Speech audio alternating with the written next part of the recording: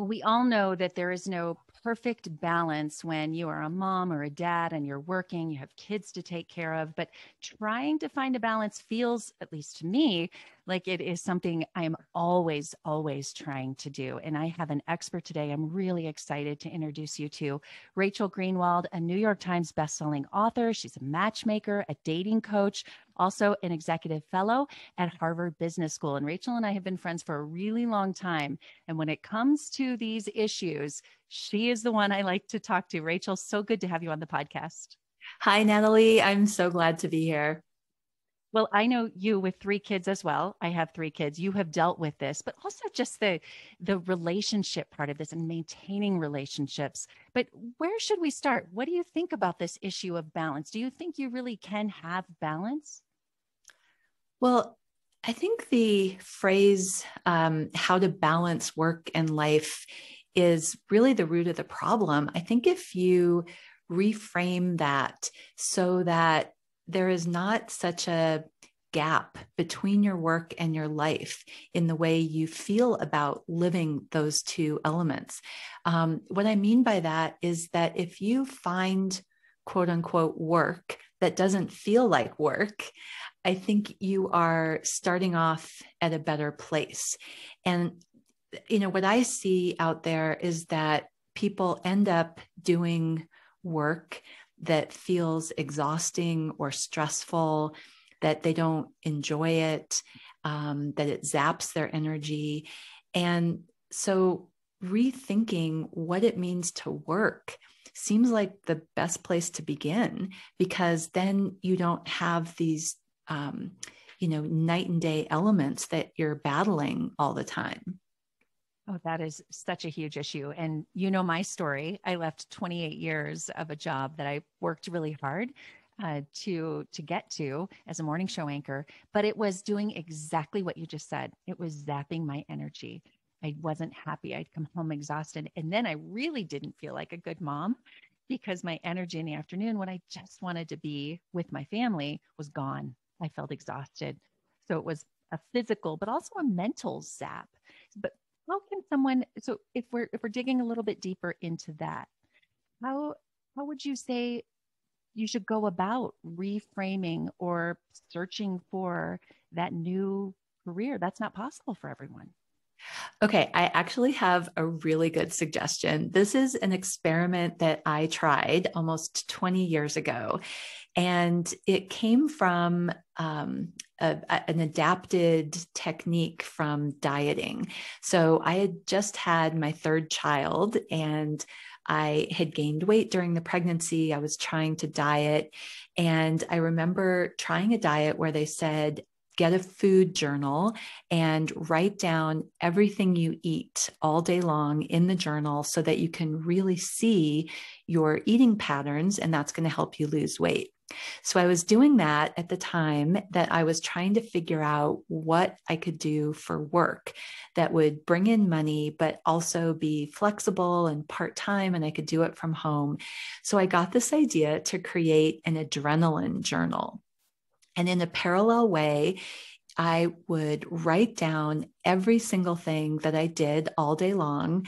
And sometimes that would be up to a hundred different actions, everything small or big, you know, going grocery shopping or uh, singing a lullaby to the baby or uh, talking on the phone to a friend, just absolutely everything I did all day long. I'd write it down and then I would rank it on a scale of one to five stars based on how much it spiked my adrenaline. Now, it wasn't about an enjoyment or an expertise to that activity, it was literally like monitoring my energy level. And so over the course of a week, I gave myself this, you know, 7-day experiment. I looked back and there were, you know, a thousand or more things that I'd written down, but only two activities rated five stars, that they spiked my adrenaline so much. I rated them five stars. Okay. I'm and, dying to know what those were. Yes. Okay. So one was sort of silly, which was drinking my morning tea. I love different kinds of tea. I'm a tea aficionado and I just looked forward to it every morning. I just was so into it. And I thought about what could I do with tea? I didn't want to open a tea shop or whatever. So I just kind of got rid of that one. The other one really turned into my career and my passion. And that was a phone call I had with a single friend of mine who was about uh, late 30s, early 40s. And she called me out of the blue just to complain about her dating life. And I have no idea where that adrenaline came from, but mm. it spiked inside my body like lightning struck. And all of a sudden, I was, yeah, I can picture myself. I was um, standing up in my kitchen, pacing, giving her advice. I had the phone glued to my ear. Everything around me, including the baby crying, like fell mm. away. And I was in the zone. And what was so interesting is that it it was so unexpected. You know, before this experiment with the adrenaline journal, if you had asked me what kind of work I should do, I would have asked questions like, well, what kind of experience do I have? And what do I think could make a lot of money? And, you know, things like that. And that's not where I discovered what really energized me. It was through this activity.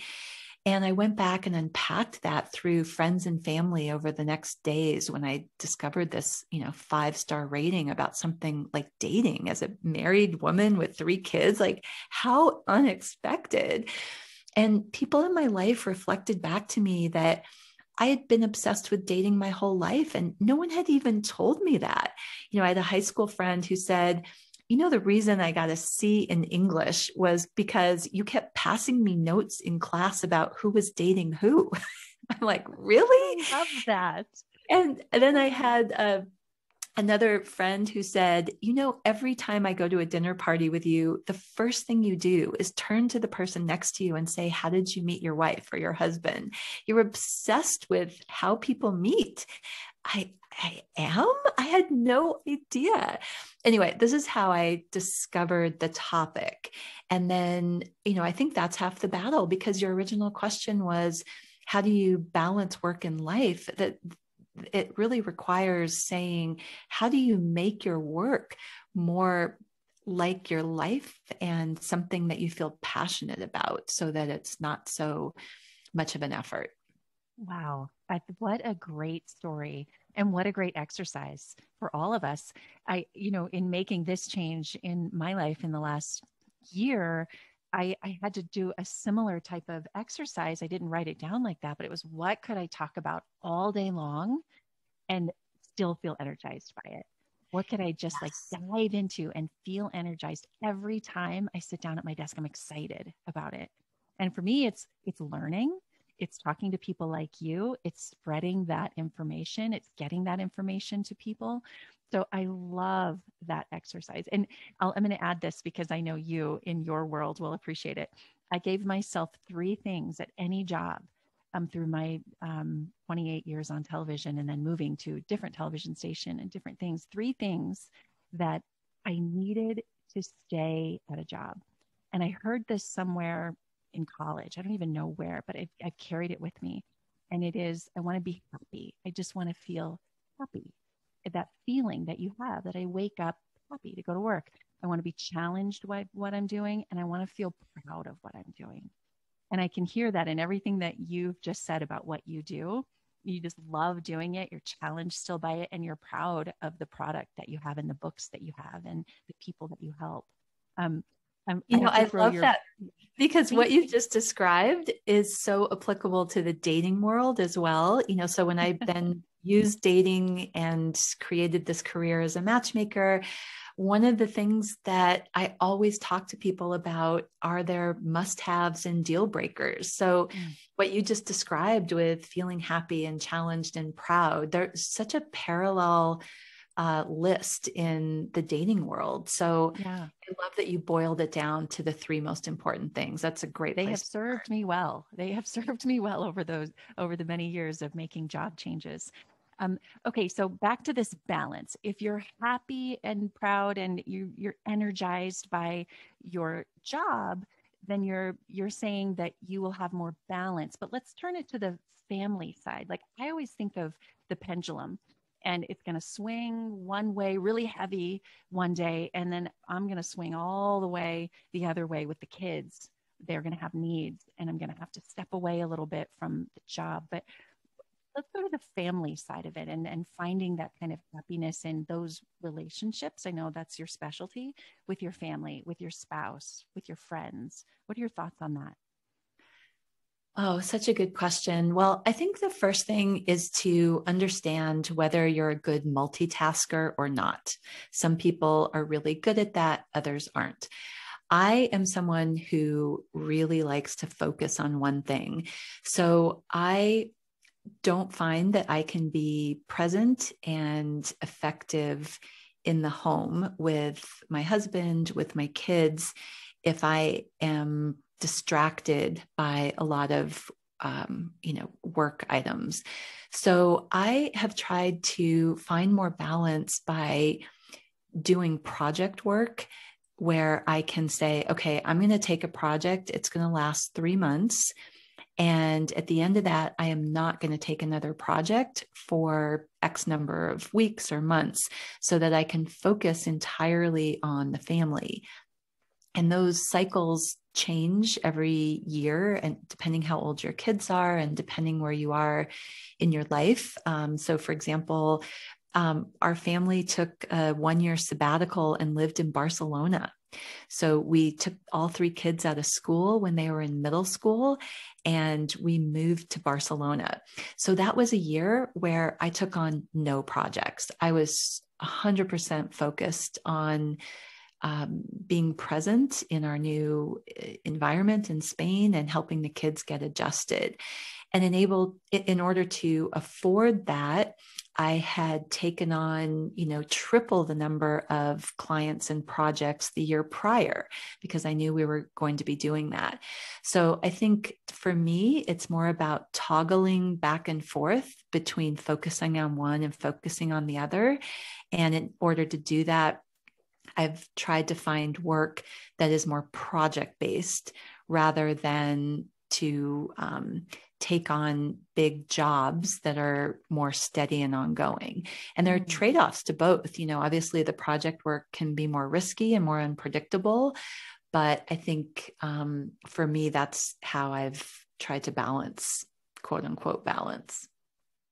I love that you do that. And it's it's kind of the new work that i have now in these projects uh, versus a daily job which not it can't be for everyone. I mean, some people have to have that regular salary but i want i want to talk about the world we live in of technology now because when you said um, you don't enjoy multitasking i've always prided myself in being a good multitasker. And i think moms have to be in in many ways. We just are multitaskers. We have to deal with a child and the phone and other stresses in life all at once. It's really hard to focus on one thing. So we learn. It's almost a i like to say it's a learned habit of multitasking. And i have tried to retrain myself to not multitask as much but it's hard with technology today. Our phones are dinging and the kids are on the other side of the room and the computer's in front of me. And, and at, one time, when I was doing the morning news, I, I would have six, seven devices in front of me while I was live on television and someone's talking in my ear. So I had this trained habit almost of I needed that. I needed that to feel successful. How would you suggest we untrain ourselves from multitasking? Well, it is really hard. I mean, I think what you're making the distinction between is digital distractions versus being present with somebody who is in your physical space, um, or at least that part of it. Um, and of course, even within a category like family, um, focus on family still requires subcategories of multitasking with multiple kids and multiple um, tasks and things around the home. So I think one of the um, the hidden gems of being able to focus and be present is verbalizing what's going on.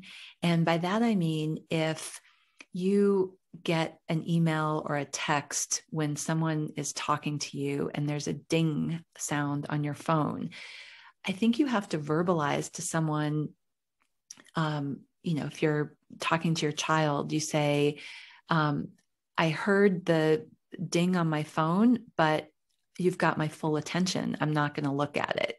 Mm-hmm. You know, mm. instead of just letting them see your eyes dart to the phone, they sense even on a subliminal level, even if you don't go look at that text, they sense that you've been distracted mm-hmm. and you've lost their belief that you're focused on them. So I think just learning to say out loud, um, either you have my full attention, don't worry, I'm not going to look at that, or the opposite, like, I really care what we're talking about um, can we push the pause button for 30 seconds while I turn the stove off because the water's boiling or whatever it is? So, not um, pretending that distractions aren't happening, but rather calling them out so that somebody knows without a doubt what you're focused on right now. And if it's a short break that you need, or you're not going to take a break, but you've acknowledged that something happened, I think that goes a really long way to preserving the connection that you have with the person you're talking to. Yeah, I couldn't agree more. I love that advice from your children to your spouse to your friends. I mean, how many times have we been at dinner and someone is checking on their phone? You don't really know if they're fully involved in the conversation. And that's so frustrating. So, verbalizing that um, at every step. So yeah, and you know, I really like you, that. This is so important. I think people are delusional that they think someone else doesn't notice when your attention has strayed.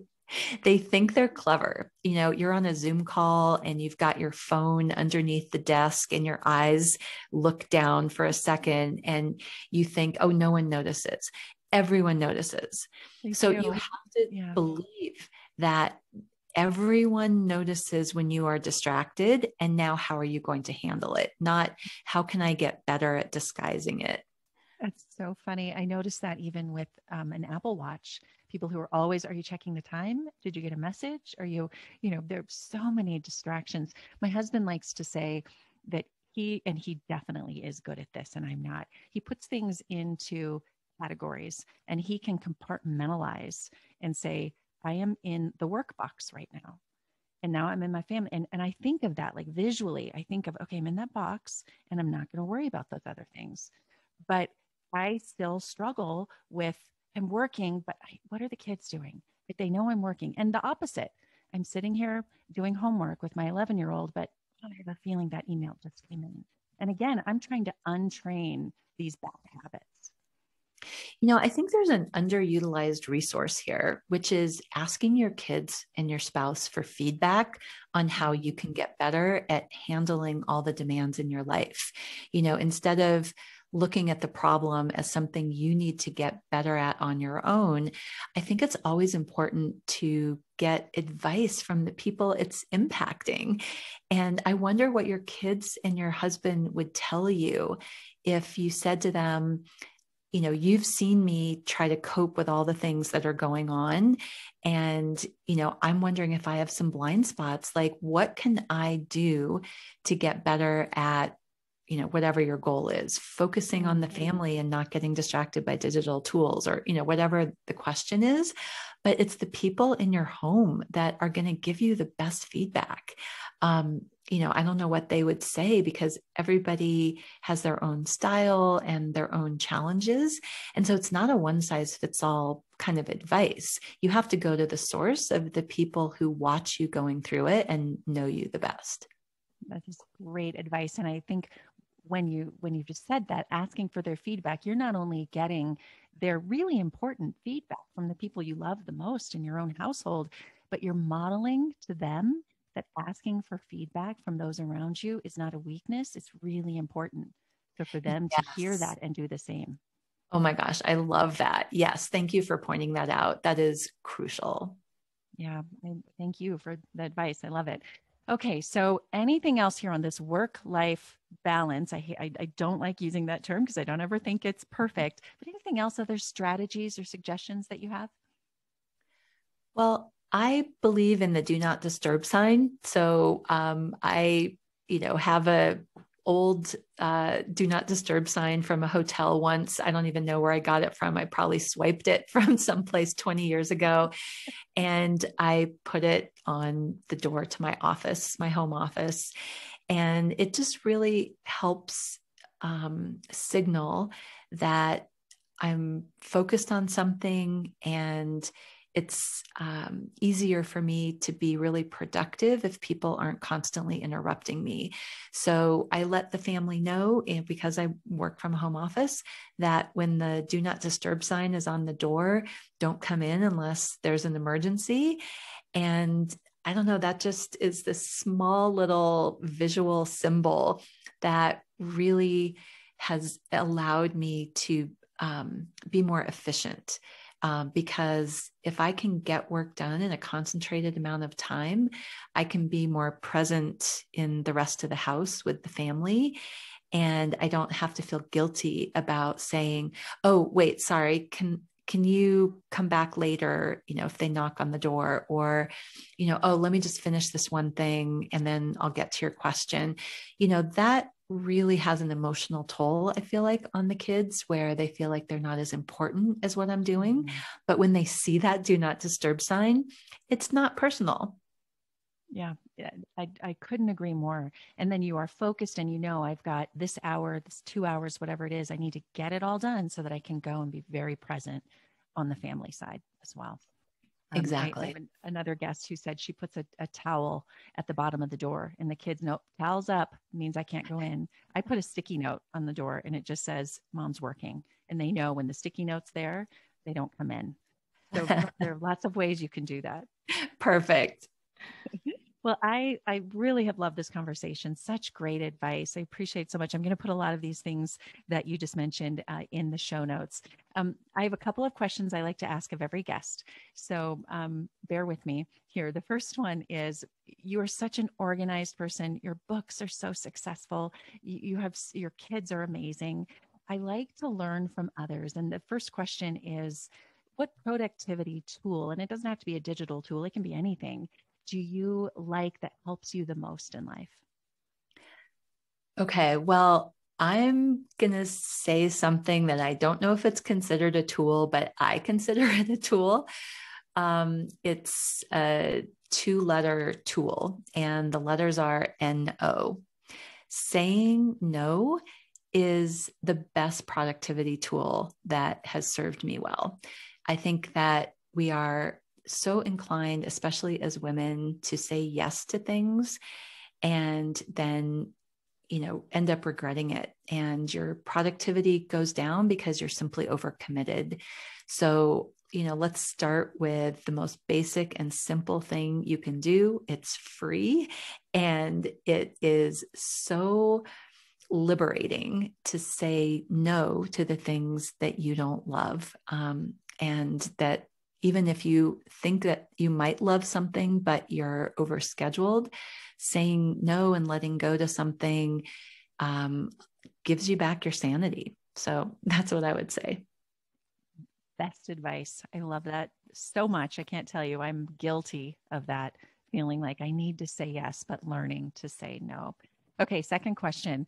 And I know this is a deep one uh, for the end of the podcast, but what what do you consider your passion to be? When did you discover that? I, you told the story a little bit earlier of of your adrenaline um, journal, and uh, it sounds as if that's when you found what you love to do. Is would that be the answer to what your passion in life is, and when you found it?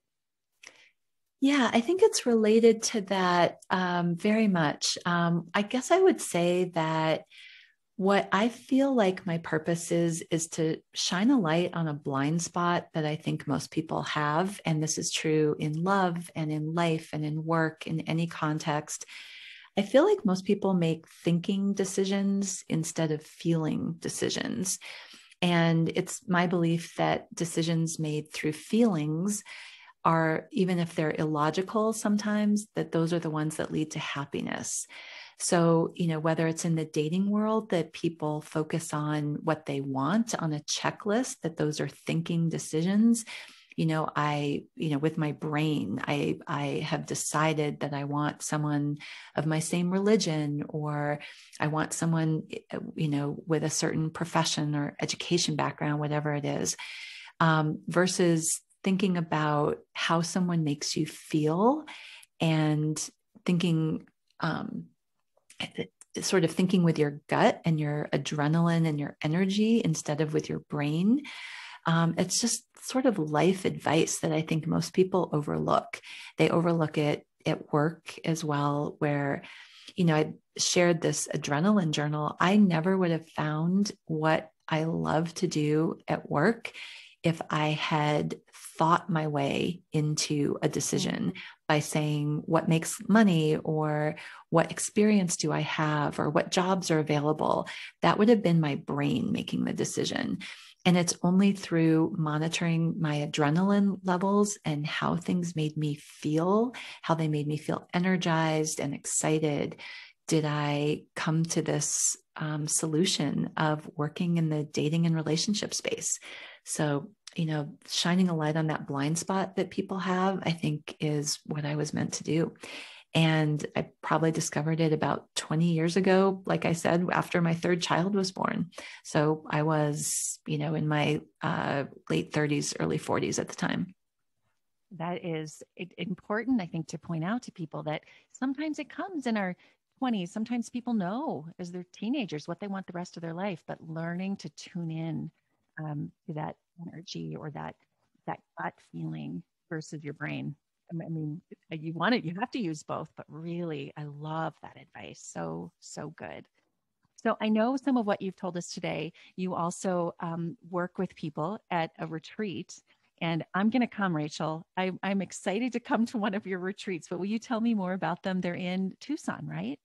Yes. Oh, I'm so glad you're going to come. We are going to have so much fun. Um, I've been doing uh, two different retreats at Canyon Ranch Spa in Tucson, Arizona, um, and they are uh, very different. One is a post divorce boot camp, and it's a three day retreat where singles come to basically be guests at Canyon Ranch. And uh, every day there are several different optional sessions that you can come and um, participate with other people who are post divorce.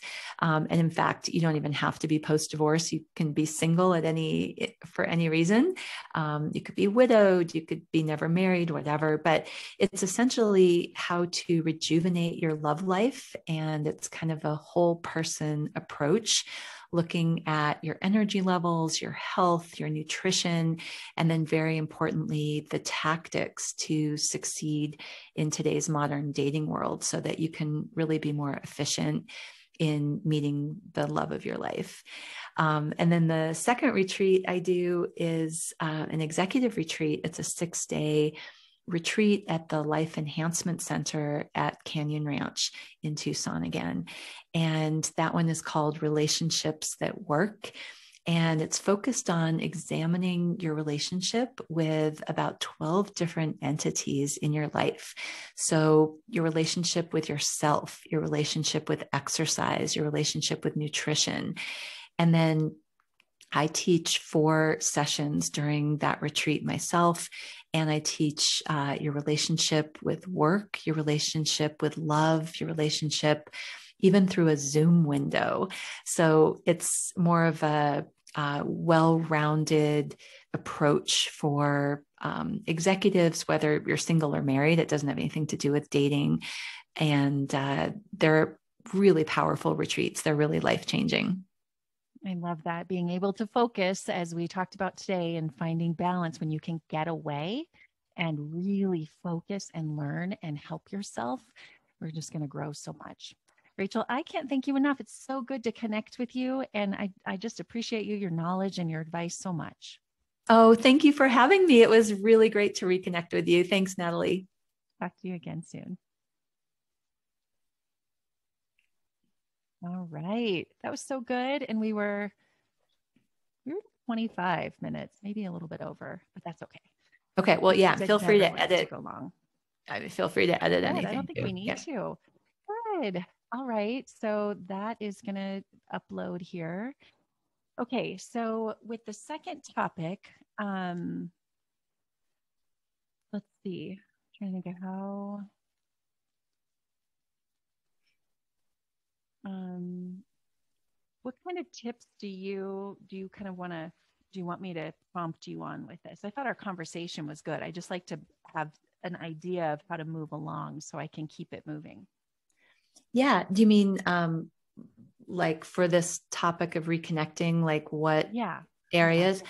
Um yeah, I think uh focusing on maybe uh this hesitancy that people have to socialize again, that they've created new habits and they um, have retreated. Is that a good thing? Or, you know, should we force ourselves to get back on the horse and socialize? And how can we make socializing more enjoyable? Um, and especially uh, what what really creates um, fulfilling interactions between people does it have to be in person can it be virtual Hmm. um, you know those kind of things i don't know I if like that's that. helpful. Yeah. okay I think that's good because, you know, the, what I worry about why I like this topic is people who, and I have friends and I have family who have just, they have just stayed inside. And our mental health, like we don't want to get too deep here into mental health, but I think the mental health part of this in staying connected with people, increasing um, interaction, how do you do that in a fulfilling way? if you aren't going back out into society. So maybe we can talk about both. If you're out and about, how to reconnect. And if you've decided I really just need to stay home, there are going to be some of those people, how to make sure those relationships are still fulfilling. That good? Yeah and and also like are there any yeah those are all perfect and then i would add um, are there any tactics to make conversations on zoom more fulfilling and less Mm. fatiguing Okay, let's do that. Okay. I mean, a lot of meetings and I know some of the boards I'm on and stuff, they're just switching to virtual. People just like it, you know? But Yeah. not connecting with people the same way. Great. Okay. I'm going to use kind of the same introduction. Um, I'll just do a little bit of a hello and then I'll introduce you the same way with the same, um, the same things I did before. And we'll just Okay, yeah, and I've got new uh, productivity tools and purpose to talk about. Okay. Oh, those were perfect, by the way. Oh, good. Passion instead of purpose. I didn't mean to say that. Okay, Oh, yeah, no, no, no, I but- loved those. Okay. however, however you want to phrase them, and um, I'll give you two new ones. Okay. Perfect. Okay. Oh, wait.